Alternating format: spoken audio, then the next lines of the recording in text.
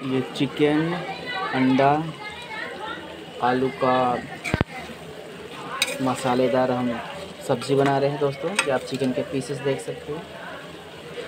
ये अंडे, ये आलू है। इसमें कई तरह के मसाले डाले हुए हैं। देखिए, कितना टेस्टी दिख रहा है। वाओ